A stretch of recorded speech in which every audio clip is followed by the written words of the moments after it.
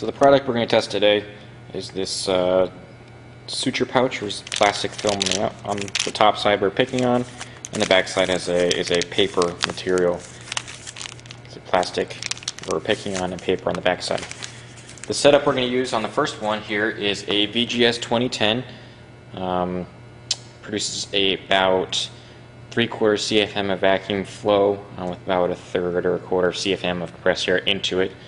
Um, the cup we're going to test first is an RB 20 by 40 Duraflex cup. It's a polyurethane um, single bellow rectangular shape cup. We're going to come down and grab the material right like this. So go ahead and test that first with this cup. Feed pressure going in is about 80 psi.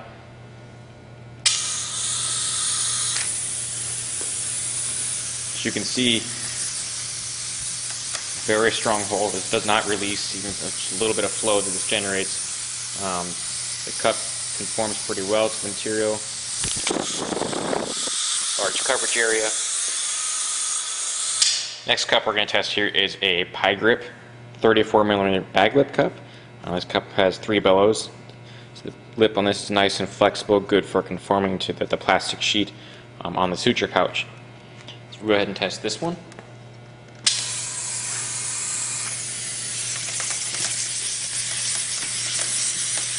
Again, a very strong hold. As you can see, the, the lip does conform to the pouch.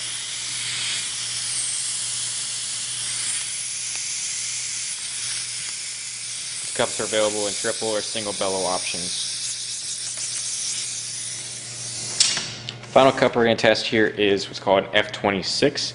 So unique features on it is it has a nice flat cleat pattern here to keep the product nice and nice and flat, nice and planar, as well as a thin flexible lip to conform to the plastic.